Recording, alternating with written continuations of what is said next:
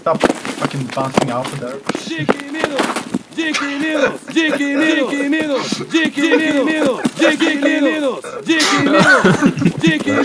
Somebody, that's all they hear. They're sitting in a dorm room and they just hear like five sets of Dicky Needles.